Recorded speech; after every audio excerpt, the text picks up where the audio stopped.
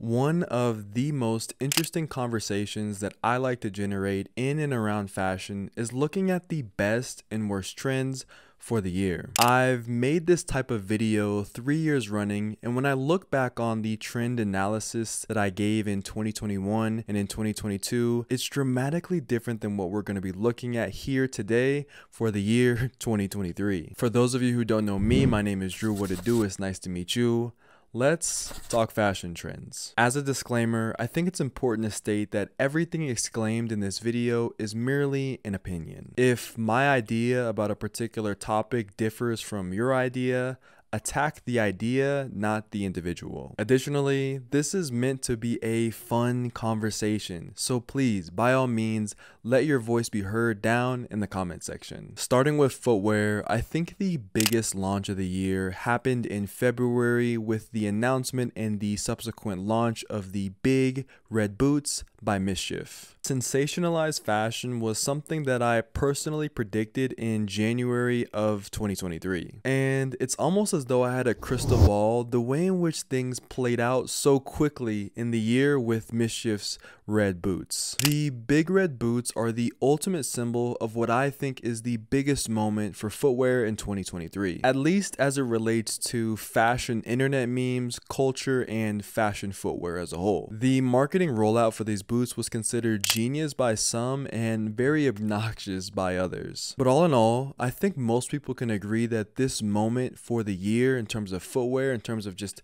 fashion moments, was significant. I personally believe that the Big Red Boots sit somewhere in the middle between being the best and the worst trends for this year. And to me, what the Big Red Boots signified to the fashion world is that more so than functionality, more so than interesting or I guess you could argue that it's interesting design, but more so than design, that attention is what matters the most in the fashion world. And when I say that, I mean in order to drive sales for a particular product, the catalyst or one of the biggest catalysts for that product to actually sell is that you have to garner an unfathomable amount of attention for that item. And if you can get that attention, it's almost more important than any other factor that is involved with promoting that product. If the big red boots were the overall largest moment in footwear, then I think that the Adidas Samba took the crown as the trendiest sneaker of the year. In 2021, I said it was the year of the Jordan 1s and Nike Dunk Lows. In 2022, I said it was the year of New Balance, the New Balance 550, and other models like it. In 2023, I do have to say that I think the Adidas Samba has truly taken the crown for trendy sneakers. And why I think it's one of the best trends in footwear in 2023 is accessibility. Like the Nike Dunk Low in 2021, particularly the Panda colorway, the Adidas Samba is a great entry level, easy to buy, general release item of footwear. It looks good with shorts, it looks good with pants. It carries this little bit of like city boy or city girl aesthetic with it that goes really well with the current meta for what fashion is in 2023. It's been worn by celebrities, it's been co signed by influencers, and there's probably a good chance that some of you are wearing a pair of Adidas Sambas while watching this video, or you have a pair in your closet right now. I plan on making a more in-depth video talking and kind of dissecting the popularity that is the Adidas Samba. But for right now, I'll say I love the moment that is the Adidas Samba, and I'm really not happy, but just kind of like it's cool that the Adidas Samba is the trendiest sneaker for the year 2023, especially for how long it's been around. And some people might argue and say that the Adidas Samba is getting played out, but that's kind of what I would consider to be the natural progression of trends. Things get popular, then they get saturated, and then the item of footwear or whatever the item is gets replaced by something that is is new and exciting. Three additional trendy items of footwear include Mary Jane's, kitten heels, and ballet flats. We are focused more on women's wear here, but I still think that these three specific items of footwear are some of the best trends that the year has produced. Let me explain. When it comes to footwear and when we compare women's wear to men's wear, I think that there is a bit of a kind of shackled nature that comes along with menswear that you don't get in design and in feel when it comes to items that are made for women or women's wear. That was a really weird way to say it, but hopefully you get what I'm saying. Essentially, there's a particular rigidity that sometimes shackles menswear, in my opinion. It happens less and less, of course. I think menswear is opening up and kind of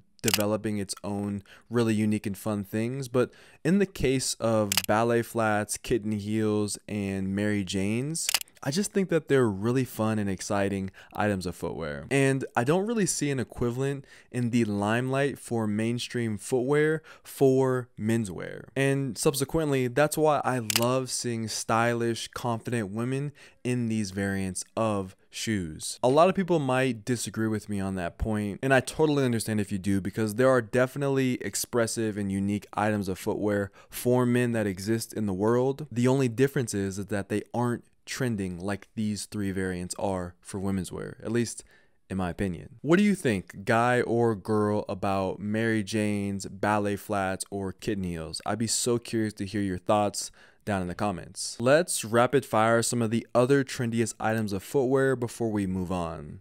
On my list, I have the Adidas Campus 2000s, Onitsuka Tiger Mexico 66s, Nike Vomero 5s, Adidas Gazelles, and that's about where I would end my list for first ballot trendy items of shoes or trendy shoe items. Let me know what I missed. Of course, I'm going to miss something, but I'm curious to know. Let me know what I missed. The biggest trend in general when it comes to pants is that wider typically means better and more fashionable in more instances. There's a limit to how wide your pants can actually get without you looking literally like a fool, but I think in 2023 we've really pushed the boundary for what that limit is. And in 2022, I'd mentioned the introduction in the trend of parachute pants, and I think in 2023 what you find is that more people take take wider pants into consideration when it comes to an outfit being stylish or an outfit being just trendy than ever before. And I just think wide fitting,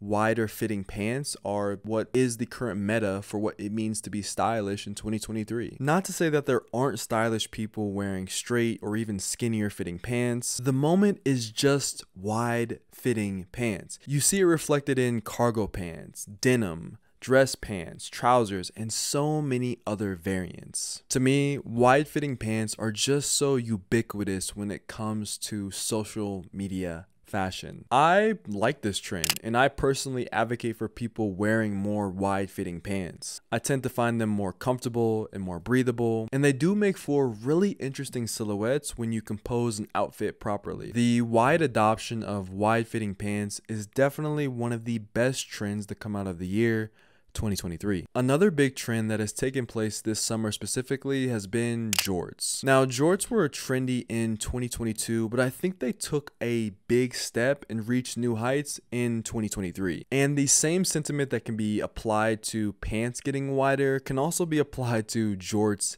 getting wider. Jorts are just massive these days. A lot of people advocate for you to wear them below the knee. They want them to be very, very wide and creates a unique look. It creates a unique look that's definitely distinct from what the jorts that were being worn in 2022. It seems that the big, wide-legged, almost ballooned out jorts are a trend within a trend that is taking place. Hopefully that makes sense. Also, the jorts with boots trend or the shorts with boot trend is another micro trend that's taking place in and around this whole jorts conversation. And I just personally love seeing it. I think it's so fun the way people are styling things in creative ways. And this is something that both menswear and women's wear is doing. And I just, I think it's cool. I know a lot of people hate jorts, and you're probably justified in your reasoning for hating jorts.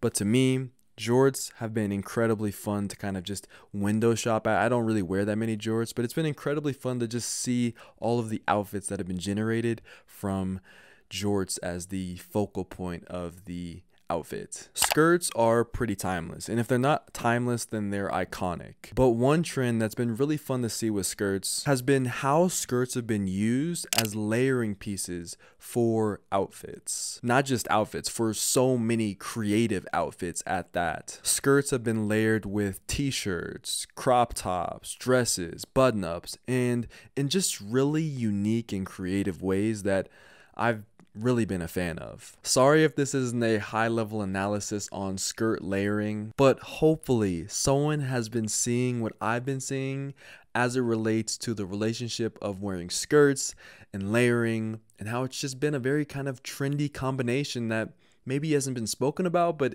it definitely exists at least online. A trend that deserves its own section is the movement to crop every shirt. I've mostly seen this in menswear, but I've also seen women do this as well. But it seems like men or boys have just discovered the benefit to cropping shirts to create unique outfits. And not to sound above it all, because I said men and boys, but not to sound above it all, even myself, I wear more cropped shirts than I probably would have ever imagined I would wear two years ago. But the cool thing about this trend is that you don't have to necessarily go out and buy a cropped shirt.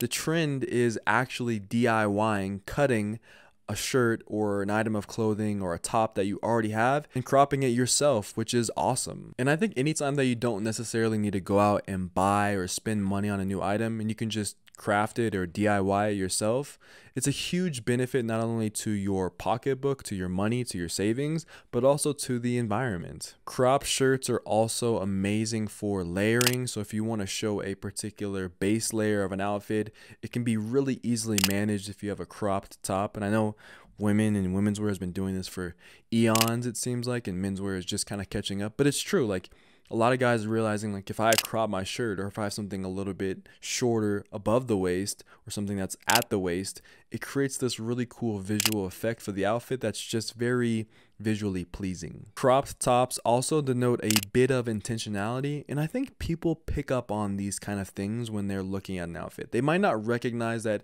oh, it's the crop top that makes this outfit look good, but they do pick up on something that's a little bit different than what the average Joe or the average Jill is wearing on the street. I think the biggest trend in accessories is one that not many people have talked about, but it is carabiners on belt loops and the accessorizing of your belt loop or your waistband. Before 2023, I never and I do mean never saw as many people taking to their waistband or their belt loop and accessorizing this portion of their outfit, especially to such a degree. From fancy carabiners to holding cameras, holding your keys, or just other small keychain items, I think that this trend is something that I'm not just imagining. It's happening, but no one is talking about it. And I love this trend. I think it not only adds a bit of extra oomph, as accessories always do to an outfit, but it's also super functional, especially when you add your keys or something like that to your waistband. When function and fashion intertwine, that is definitely when I think something is worth it, in my opinion. And to me, I just don't see the harm in this trend whatsoever. And like I said, I've noticed like fancy carabiners being used. One of the ones that I've looked into is not, it's not a carabiner. It's from a company called Good Art, if I'm not mistaken. And it's a product called the Belt Loop Buddy. And it's essentially what a carabiner is. It just doesn't have a locking or cinching mechanism like a carabiner does but it's really cool and you can add different things on the keychain that you can use not only for the functionality of it but for the styling capabilities of it which i sound really nerdy right now but I do have a whole YouTube channel about fashion, so I have to be a fashion nerd a little bit. Has anyone else noticed the insurgency of carabiners or waistband accessories like I have? Let me know down in the comments. I am so curious to hear your response. I'm so curious. Another awesome trend that I just I just love seeing this styled is the use of bows and ribbons in women's wear as an accessory. I just to me, I just love how accessories elevate an outfit and just add a bit of extra character to the outfit. I think once you kind of nail and understand fit, proportions, your sizing, kind of what your style is, the moment you add accessories to your outfit, it just creates this kind of cherry on top effect for the outfit. It almost supersedes every other element. The accessories really stand out and they become the most poignant aspect of the outfit.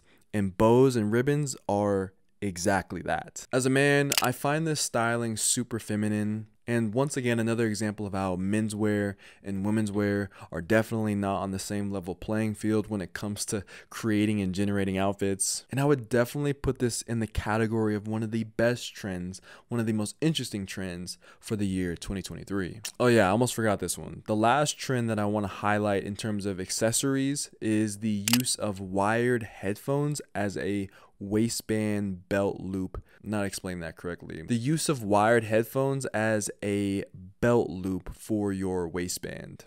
Does that make sense? This is more of a niche trend. I'm not even really sure if it's a trend, but I thought I'd mention it just to include it in one of my records for the internet or just to include it in this video. Essentially, people are using wired headphones as a replacement for a belt. This feels very Y22K instead of Y2K, but I think it's pretty cool nonetheless. Moving on, I think one of the most trending ideas in and around fashion is this idea of online fashion versus IRL or in real life fashion. And this idea is simply rooted in the stark contrast between what you see online on social media versus what you see when you step outside your home. Fashion in the real world tends to be much less stimulating than online. And often it feels like a lot of these trends and a lot of these ideas that we talk about here on this channel or I talk about on Instagram or TikTok seem to exist in a vacuum. Now, don't get me wrong, you will see the Adidas Samba out in the real world.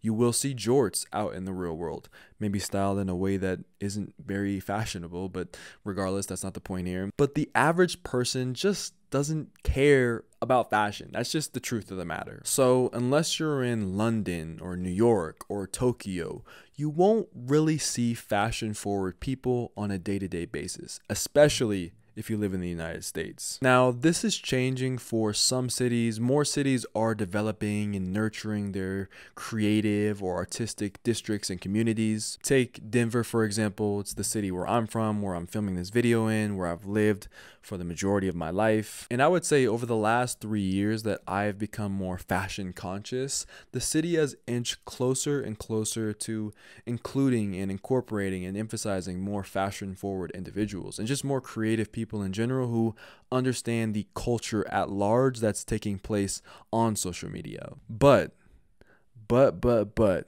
it's still eons behind something like what New York City is here in the US. Another fashion idea that I want to coin is the nicheification of fashion, which essentially is focused on the fact that there is no ultimate guiding style for what is fashionable. Some of you might be like, well, duh. And maybe this has to do with youth, but I remember a time when Supreme, Bape, and brands like these brands were just the pinnacle of style. And to look cool, in order to be cool, you had to dress in one of these brands. You had to have this brand to be representative of what it means to be cool. And like I said, I I, I think that maybe comes with youth and not understanding that the world has so many different perspectives and ideas that are uh, available and I can totally take that as a valid criticism of this idea. But nowadays, you just have so much choice, right? You have people who wear Tabis, people who like streetwear, people who like dark academia, grunge, Y2K, dadcore, gorpcore,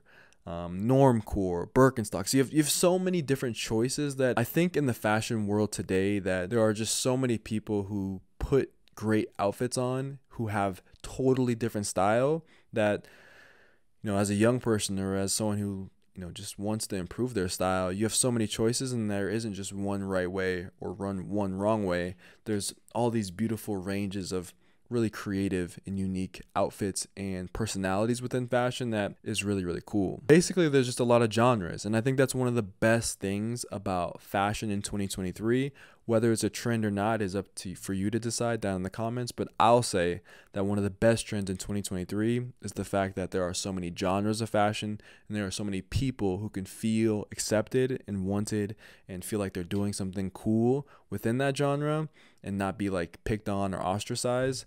And um, yeah, I don't mean to ramble, but the nicheification of fashion is real and it's definitely one of the best parts about 2023 fashion. What I'm calling one of the worst trends of 2023 is what happened with Shein and the influencer trip.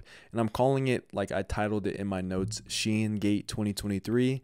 But I think it's one of the worst trends of 2023. What am I talking about? Let me explain. I don't plan to get into the weeds about the entire story of Shein's influencer trip, but I think fast fashion recognizes that it's in a bit of a dilemma. It recognizes that it's in a bit of a pickle. A lot of people, and a lot more people, continue to voice their qualms about the inequities that fast fashion brings to the environment and to people working within its systems. And one of the biggest corporate fashion trends is the attempt to clean up the image of these fast fashion companies. And I think Shein's influencer trip is one of the biggest examples in recent time of this. And I call it a worst trend because I think sustainability and ethics within fashion has never been more confusing or just misunderstood in the industry. And I think as long as things are misunderstood and as long as things are confusing for the consumer, business will continue to perpetuate itself as business as usual and things won't change things won't be more sustainable things won't be more equitable or more ethic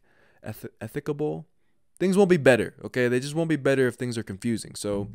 and i think it's in the company's best interest to make it as confusing or to propose an image of of, of utopia within these facilities when in, in reality a lot of people know that there's a lot of harm being done especially when it comes to the fast fashion side of things. Okay, so we've made it to kind of the later half of the video. Shout out to you for staying all the way through to the end. Most people don't have the attention span to stay through a full YouTube video like this, especially all the Gen Zers and everybody who's on TikTok right now.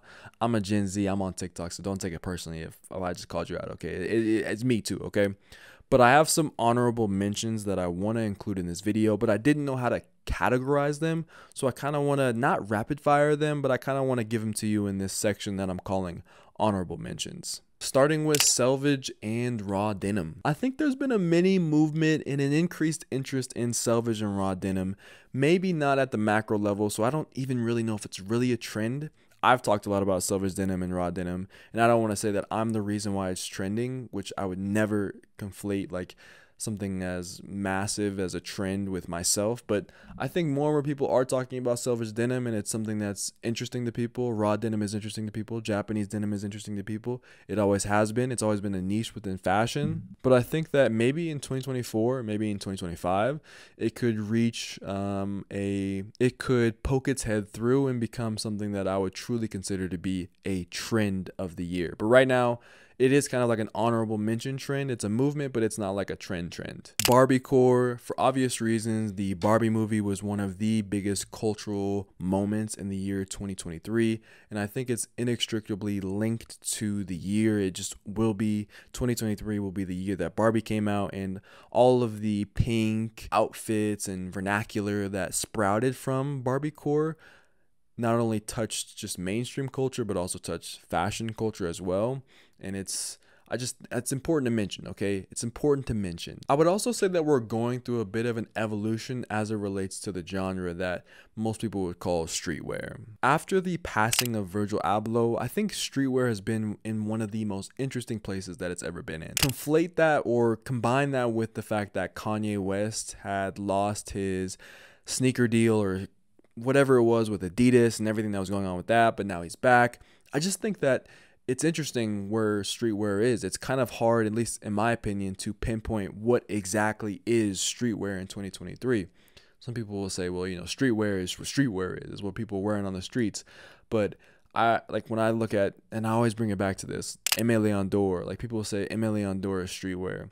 It has a lot of elements of menswear, like traditional menswear in it. Um, people will say like grunge or Y2K or um, destroy lonely, destroy lonely or what's the uh, Playboi Carti aesthetic or something like that is streetwear, and that has its own unique and different look from the Leon Dores of the world. So it's kind of hard to say like what streetwear is, but it also ties hand in hand with what I was saying earlier, which is you know, there are so many niches within fashion. Why can't streetwear, the genre, have multiple subcategorical genres within it? And I think that's what's taking place. And as someone who like I said, who was young and thought streetwear was this, it's interesting to see how it's changed and evolved over time. Last, I think that there have been a lot of Korean specifically brands that have made their voice, made their designs, made their energy known to the Western fashion world. And I think it goes hand in hand with the proliferation of Korean cultural exports that's taking place in, in music and in media. Why would it not also include fashion as well? I just think it would be remiss of me not to mention the influence of Korean streetwear, Korean designers, and just overall Korean fashion. Um, not to discount other uh, Southeast Asian or Asian or African or European designers in the world. I just I think that that specific country, South Korea, Korean um, country, is definitely making noise in 2023. That is my 2023 trend analysis. What did I miss? Let me know down in the comments. I always love making this video and I'll definitely be making another one for 2024. And as always, I'm spreading peace, love, and positivity in 2023. So that means I'm spreading peace, love, and positivity to you from me. Wherever you are in the world, have a wonderful rest of your day. Abianto. Peace. Yo, what is good post vid vid? That was a video of a video, man. That was that was that a video of a video. I don't even know what I'm saying. That was just a long video. It took me a long time to record this. I'm not forgetting the fist bumps. Here we go. Bop. Thank you so much for staying to the end of this video. Here's the second fist bump. Bop. Thank you so much. I appreciate you for staying to the end. You have no idea. For the post vid vid question of the day, I have down here. Do you think fall winter 2023 will have bigger moments than the first half of the year? Essentially i make this video in august every year and obviously august is not the end of the year so if i was actually someone who was accurate to the idea of best and worst trends of said year i'd make this video in like december but i don't know. I think that the main trends of the year are what they are in 2023 already and august or excuse me fall and winter they'll have their own moment but it's going to be totally different than what the first half of the year will be. So maybe I'll have to make a fall winter edition, but let me know what you think down in the comments. Do you think that the fall and winter of 2023 will have a bigger moment? I'm losing light as you can see. It's getting cloudy, it's getting sunny. Regardless, hopefully you have a blessed and wonderful rest of your day. I truly mean that from the bottom of my heart. Have a wonderful day. Get if you're in school, get back to school, get those grades up, or if you're an artist, if you're creative, if you're working, whoever you are in the world, just do the best you can with what you have. I'm sending all the good vibes, all the good energy. Hopefully, it's pouring through your screen right now for real. Um, yeah, I'll see you guys in the next video. Peace.